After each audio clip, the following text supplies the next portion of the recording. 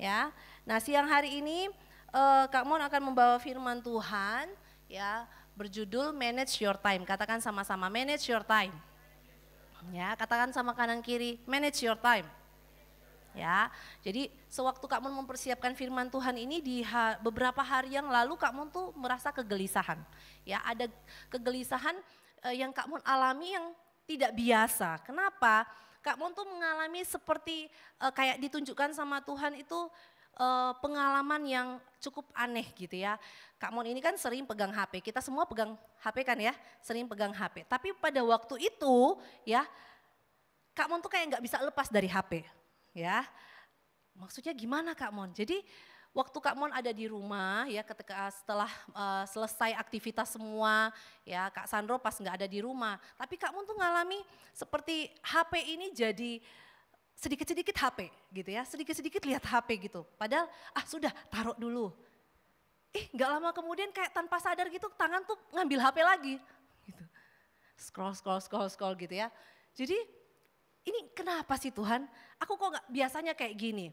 Padahal lagi semangat-semangatnya mau beres rumah, lagi semangat-semangatnya mau ngatur-ngatur yang lain, mau mengerjakan pekerjaan yang lain. Tapi kok kayak diulang-ulang, ambil HP lagi, lihat-lihat-lihat terus sadar sendiri, loh ngapain gue ambil HP ya, taruh lagi, harusnya kan aku ngerjain yang lain. Jadi kayak seperti berputar-putar di area uh, kondisi seperti itu. Nah Terus waktu mempersiapkan firman Tuhan ini Tuhan tuh mau mengingatkan kepada kita ya, terlebih kepada Kak Mon juga ya, sama-sama di tempat ini kita mau belajar. Jadi Kak Mon disadarkan bahwa ketika saya memegang HP ya kembali lagi ya, itu tuh seperti seakan-akan Tuhan ingatan, ini loh barang ini tuh bisa jadi keterikatan dalam hidup kita. Betul nggak? Ya, siapa di sini yang suka pegang HP coba angkat tangannya. Ada di sini yang nggak pegang HP? Enggak ya, semua pegang HP ya. Semua pegang HP karena semua kehidupan kita mungkin ada di HP. Pekerjaan ada di HP, tugas sekolah ada di uh, eh, HP ini. Jadi semua aktivitas, semua apa pun yang kita kerjakan tuh ada di handphone ini. Nah, kita mau sama-sama merenung ya, next slide, bahwa pernah nggak kalian itu merasa berputar-putar di satu titik atau keadaan yang itu-itu saja. Ya, jadi ngelakuin monoton aja melakukan hal yang sama. Misalnya kayak tadi Kak Mon ngeliatin HP terus, padahal sebenarnya masih ada kerjaan yang lain gitu. Atau mungkin kita sedang mengerjakan misalnya main game terus, pernah nggak seperti itu? Rasanya itu pengen keluar tuh nggak bisa, berat rasanya. Atau misalnya, aduh saya seminggu ini kok malas banget ya.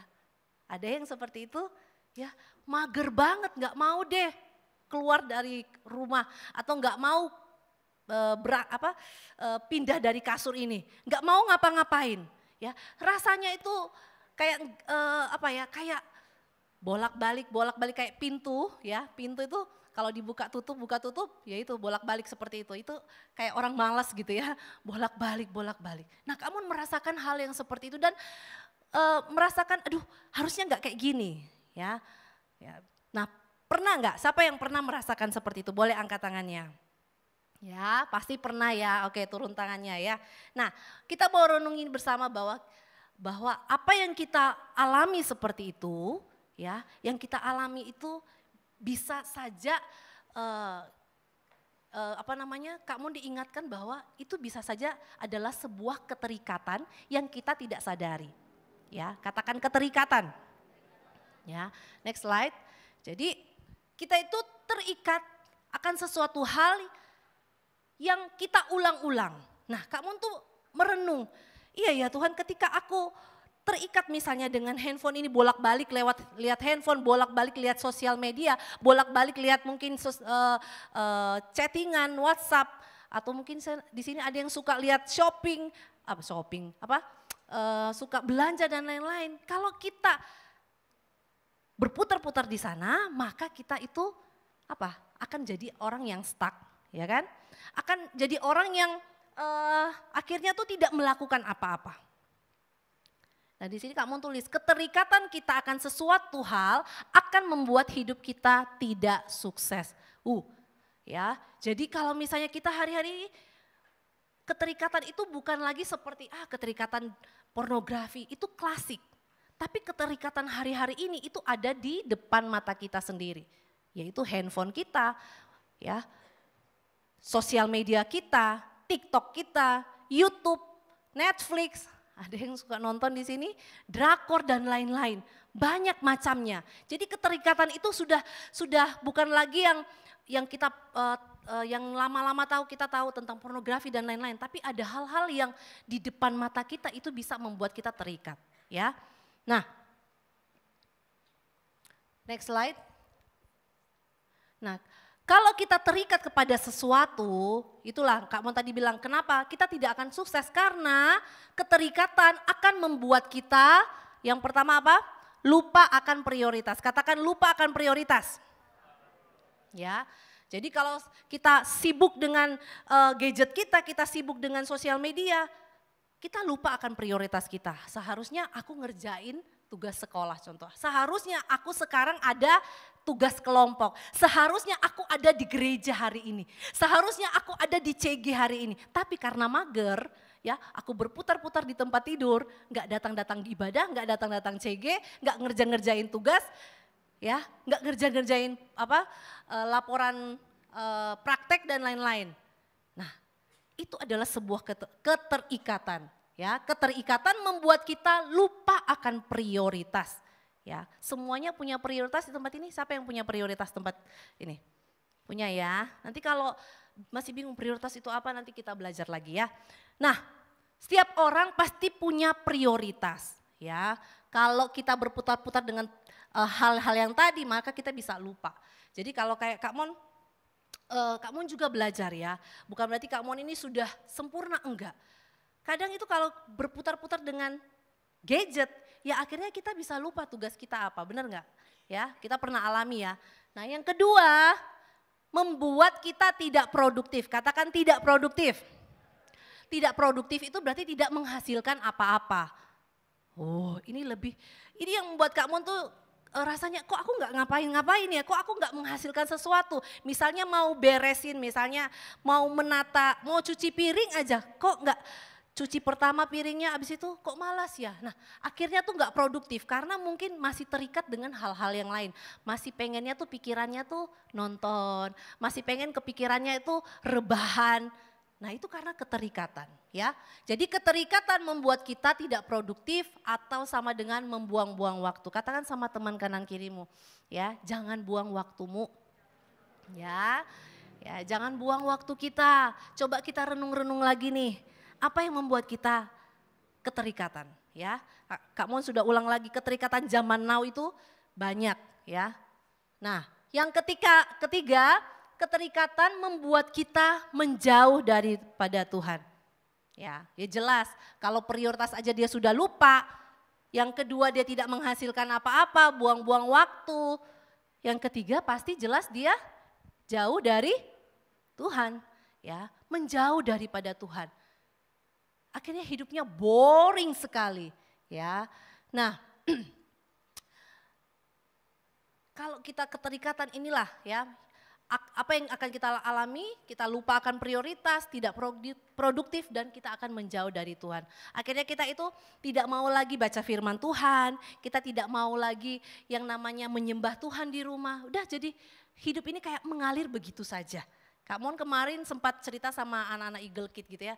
Kalian di sini uh, suka lihat tanggalan gak sih? Kakak tanya, sekarang tanggal berapa? Gak tahu gitu. Karena gak pernah, ternyata gak pernah lihat jadwal gitu.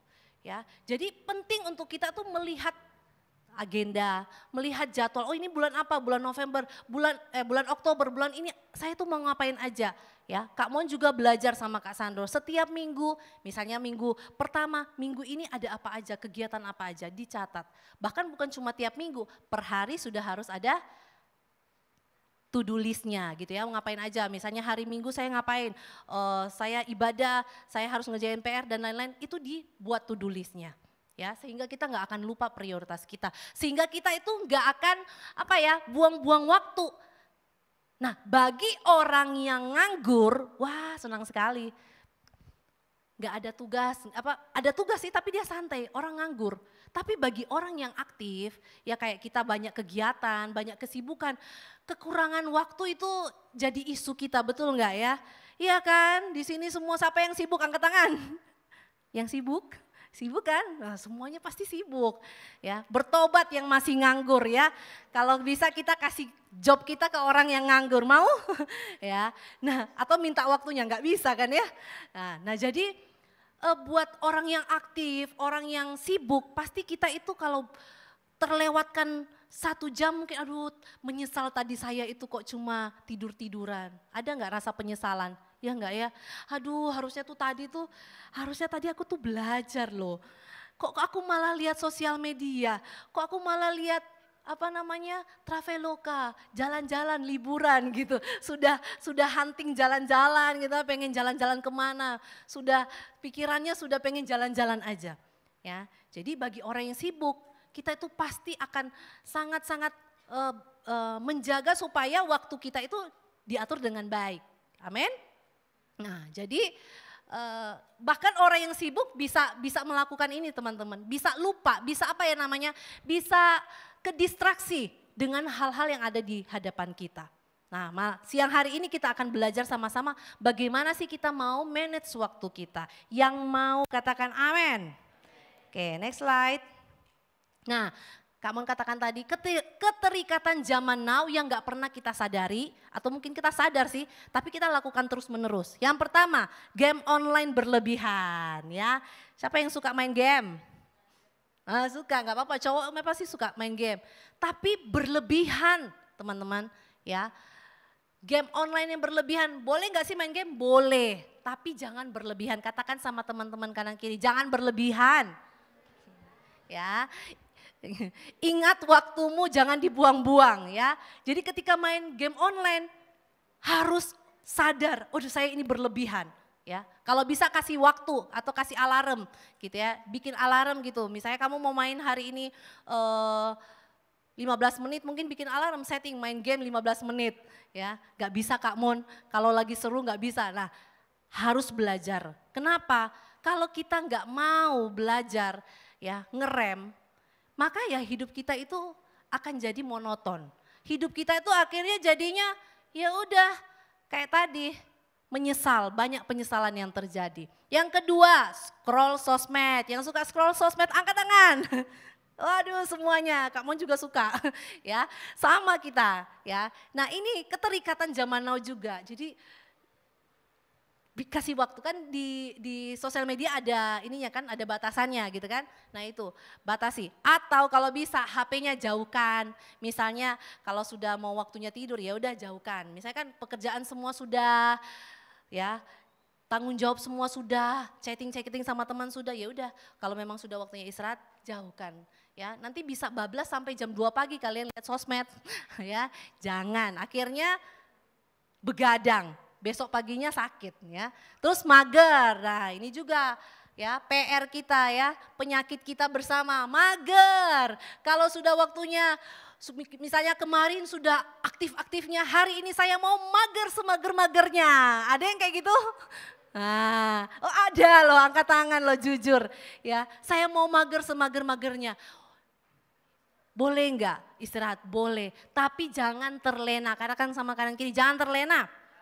Ya, jangan mager terus teman-teman. Kalau kita mager terus, ya udah akhirnya kita harus kerja keras lagi. Waduh, kita buang waktu kita ya.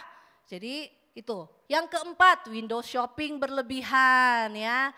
Suka jalan-jalan ke mall ada atau mungkin suka lihat-lihat barang-barang yang unik di online shop. Nah, itu keterikatan juga. Yang kelima, pornografi. Nah ini lebih parah, tahu nggak? Kan ada penelitian, pornografi itu kalau kita terikat, otak kita tuh bisa jadi lumpuh, gitu. Ya, ada yang mau otaknya lumpuh? Enggak ya, masih mau kan pikiran kita itu sehat, pikiran kita itu jernih. Jangan nonton pornografi, itu merusak otak. Katakan sama kanan kiri, merusak otak. Jangan coba-coba, katakan sama kiri-kiri. Ya, oke. Okay. Tuh, yang keenam drakor, dracin yang berlebihan. Kak Mon juga suka nonton, tapi kalau sudah jangan akhirnya kayak baca Alkitab gitu ya, e, dari episode 1 sampai episode selesai bisa diselesaikan. Tapi Alkitab nggak bisa diselesaikan. Nah, jangan sampai kebalik prioritasnya teman-teman ya. Nah yang ketujuh ini keterikatan juga zaman now. Mungkin pacar, pacaran. Ya, ketika kita pacaran yang tidak sehat, kita terlalu uh, apa namanya memprioritaskan pacaran kita, ya akhirnya hal-hal yang lain tidak bisa kita lakukan. Oke, sampai di sini yang masih semangat katakan uhui. Oke ya, itu keterikatan zaman now. Kak Mon merenungkan, iya ya Tuhan, Kak Mon aja loh kadang ke distraksi dengan hal-hal ini. Apalagi kalian anak muda yang hidupnya itu pakai gadget gitu ya. Ya kan? Kalian itu mungkin orang tua nggak bisa awasi 24 jam. Siapa yang rem kalau bukan diri kalian sendiri? Nah hari ini ayo sama-sama ya bertobat dan belajar manage waktu kita. Yang mau katakan amin. Ya, next slide. Oke. Nah, kita buka Mazmur 90 ayat 12. Nah, kita buka ayat ya. Mazmur 90 ayat 12, ini ayat favorit yang selalu didengar-dengarkan untuk kita mengatur waktu. Oke, bangkit berdiri kita baca bersama-sama ya. Kita baca dengan suara yang kuat dan mantep. Satu, dua, tiga. Hingga kami beroleh hati yang bijaksana. Katakan menghitung hari-hari kami. Yang kedua hati yang bijaksana. Oke, silakan duduk ya. Menghitung hari-hari kami itu maksudnya apa sih? Kalian belajar, hitunglah seminggu ini yang tadi kakak bilang. To do listnya apa? Hitung ya. Jangan berlalu begitu saja hidupnya, nggak direncanakan ya akhirnya kita nggak bijaksana kita nggak nggak akan punya hati. Nah, Mazmur ini ini adalah Mazmur doa ya. Bagaimana dia menyampaikan kepada Tuhan, Tuhan ajarlah kami menghitung hari-hari kami.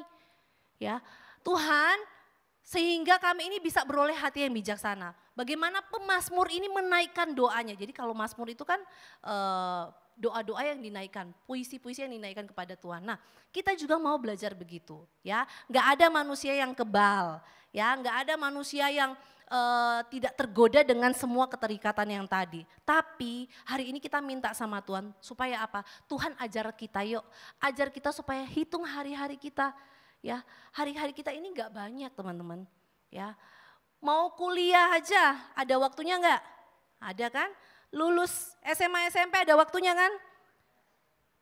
Ya, jadi hitunglah waktumu. Berapa lama lagi kamu selesai kuliahnya? Jangan buang-buang waktu. Berapa lama lagi kamu sekolahnya? Jangan buang-buang waktu. Sehingga kalian tuh bisa bijaksana. Oh saya kalau mau menyelesaikan empat tahun kuliah berarti saya ini uh, apa namanya nggak boleh malas gitu ya. Saya ini nggak um, boleh tidak rajin ke sekolah atau tidak rajin mengerjakan tugas-tugas, nanti nggak lulus ya. Kita harus menghitung hari-hari kita. Oke, okay, next slide.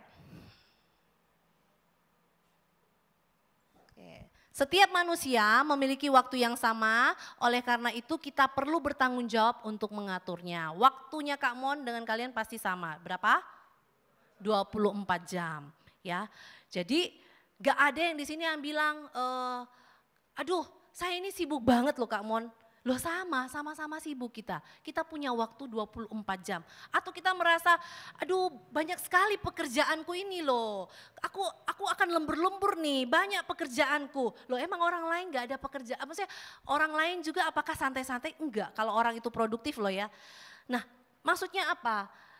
Kita semua punya waktu yang sama, tapi caranya beda-beda. Ketika kita bertanggung jawab, ketika kita mengerjakan waktu kita, misalnya. Jadi jangan iri sama temanmu loh, kok dia sudah selesai karena mungkin dia sudah apa namanya lebih cepat dari kita, ya kan? Dia bisa menyelesaikannya. Berarti ada waktu-waktu yang dia dia dia pakai untuk mengerjakan misalnya tugas sekolah, mengerjakan praktek apa laporan-laporan kuliah yang dia bisa selesaikan. Terus kita, loh aku belum kamu kok kamu sudah selesai? Padahal waktunya sama. Jadi kita jangan beralasan saya lebih sibuk, kamu nggak kayak aku kok. Kamu, aku lebih banyak waktunya sibuk daripada kamu. No, semua tanggung jawab ada di tangan kita ya. Jadi jangan blaming orang atau jangan kita itu uh, iri sama orang tapi bertanggung jawab untuk ngatur uh, waktu kita. Yang mau katakan amin. Ya, sama-sama sibuk kan ya? Berarti kita orang sibuk ya. Kita bisa kok atur waktu kita. Justru Tuhan tuh pakai orang-orang yang sibuk kok. Ya. Tuhan nggak pernah mau pakai orang yang nganggur. Ada di sini yang nganggur terus Tuhan apa namanya? oh yaudah kamu nganggur kan? Nah, tapi orang yang justru sibuk, yang bisa ngatur waktunya Tuhan akan tambah-tambahkan kepercayaan. Yang mau katakan amin. Oke, okay, next slide. Next. Oke, nah ada tujuannya kita mengatur waktu. Yang pertama adalah hidup kita bisa produktif atau menghasilkan sesuatu. Yang kedua kita bisa ambil bagian dalam kegerakan Tuhan. Ya Kak Mon tahu bulan-bulan ini kita juga masuk CGFAN, betul ya. Kita ada yang kuliah mengerjakan tugas kita, tapi kita juga mengerjakan bagian kita dalam kerajaan Tuhan, melayani, CG, ya ibadah, ya CGFAN dan lain-lain. Tapi ketika kita bisa ngatur waktu kita ya ini tujuannya. Supaya apa? Hidup kita produktif dan hidup kita melayani Tuhan. Katakan sama kanan kirimu, hidupmu produktif dan hidupmu melayani Tuhan. Ya. Kita buka Efesus 5 ayat 15 sampai 17. Efesus 5 ayat 15 sampai 17 sudah ketemu kita baca yuk 1 2 3. Karena itu perhatikanlah dengan sesama bagaimana kamu hidup. Janganlah seperti orang bebal, tetapi seperti orang arif. Dan pergunakanlah waktu yang ada karena hari-hari ini adalah jahat. Sebab itu janganlah kamu bodoh, tetapi usahakanlah supaya kamu mengerti kehendak Tuhan. Katakan jangan bodoh. Ya. Mengerti kehendak Tuhan. Dengan kita mengatur waktu kita, teman-teman, ya. Nah, ini dibilang e, jangan seperti orang bebal tetapi sebagai orang arif, pergunakanlah waktu yang ada karena hari-hari ini jahat. Ya. Orang itu pengennya kita gagal. Ya enggak? Orang mungkin e, pengennya kita itu enggak berhasil. Itu manusia bisa seperti itu, jahat. Nah kita hari-hari ini ayo jangan ikut-ikutan. Ya udah temanmu malas kamu ikutan malas gitu. Jangan ya. Nah, aturlah cara baga bagaimana cara mengatur waktu kita. Yang pertama, kalian bisa catat adalah mengerti kehendak Tuhan atas hidup kita. Ya. Cari tahu apa sih kehendak Tuhan dalam hidupmu. Oh, kehendak Tuhan dalam hidup saya adalah supaya saya ini menjadi berkat. Supaya saya ini e, menjadi berkat atas keluarga saya, saya harus menyelesaikan kuliah saya sampai selesai saya nggak mau malas-malasan. Itu kehendak Tuhan, ya. Nah, mengerti kehendak Tuhan yang pertama, coba next slide. Ya. Kita cari tahu mengapa saya kuliah di Kota Magelang. Kenapa sih Tuhan? Yang kedua, mengapa saya ada di sekolah ini? Dan ketiga, apa rencana Tuhan bagi hidup saya? Ya. Jadi kalau kita mau ngatur waktu kita, kita ngerti dulu enggak? Kita ini Tuhan tuh maunya apa dalam hidup kita. Tuhan mau pakai kita semua supaya kita ini ketika kita kuliah, kita ini bisa jadi uh, teladan buat keluarga kita, inspirasi buat keluarga kita. Kita sekolah di sekolah yang saat ini supaya kita ini jadi uh, jadi anak yang pintar, jadi anak yang apa ya, membanggakan orang tua. Yang ketiga, ada rencana Tuhan bagi hidup kita. Bayangkan kalau kalian nggak sekolah atau kalian uh, hari ini kan kita sekolah semua. Nah kalau kita ke sekolah itu berarti ada masa depan. Katakan amin. Ya, jadi bersyukurlah kalau kalian hari ini uh, bersekolah semuanya ya.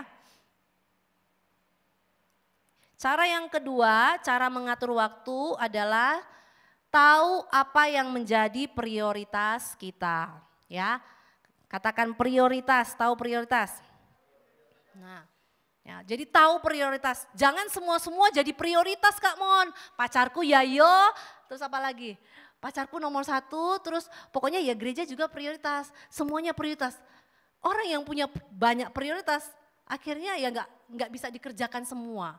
Ya, Nggak bisa kita itu multitasking. Misalnya ngerjain ini, abis itu sambil ngerjain yang lain nggak bisa. Kita memang harus fokus, katakan fokus. Ya, kalau misalnya lagi ngerjain PR ya udah selesaikan sampai selesai cepat. Jangan lama-lama ngerjain PR-nya. Ya, ngerjain tugas kelompok ya kerjakan, jangan banyak cerita, jangan banyak gosip atau jangan banyak akhirnya malah nonton sama temennya gitu ya. Jangan teman-teman, habis waktunya. Fokuslah ketika kalian menyelesaikan misalnya lagi cuci piring, cuci piring, jangan ke mana-mana, nanti nggak selesai-selesai. Yang mengerti boleh anggukan kepalanya. Gitu ya, prioritas. Next slide.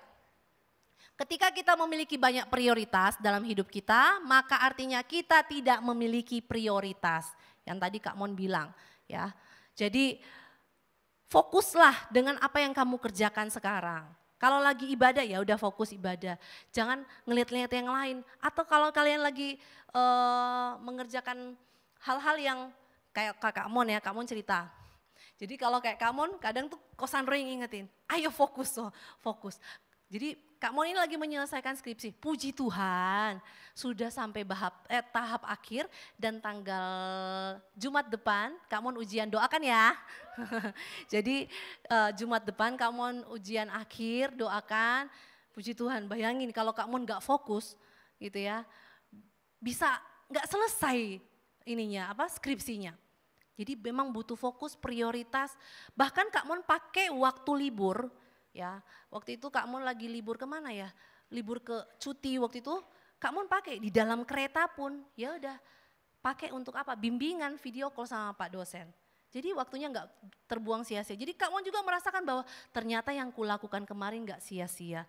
Jadi semua proses kuikuti dan hasilnya saat ini ya akhirnya selesai tinggal diuji apa tinggal di uh, ujikan aja sama uh, ujian skripsi nanti.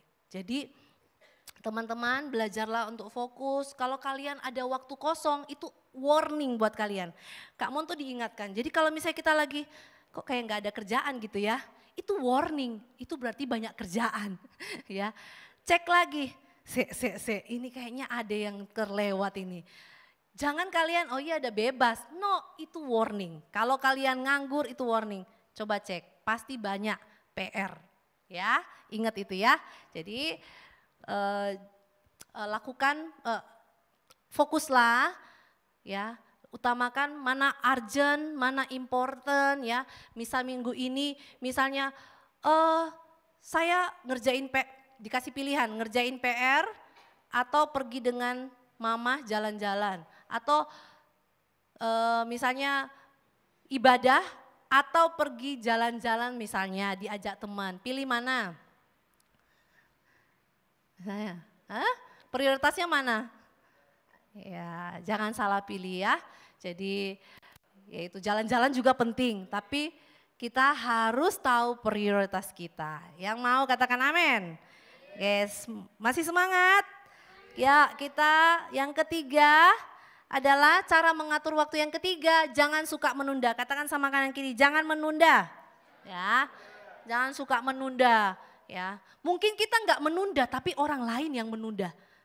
Waduh, lebih bahaya lagi. Ya udah, kita kerjakan bagian kita. Mungkin teman kelompok kita, duh teman kelompokku ini lambat banget, lelet gitu ya.